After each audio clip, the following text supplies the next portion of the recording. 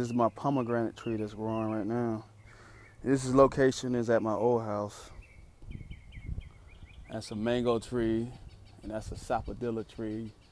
Got a little fungus on it, but I'm gonna wash it down with some detergent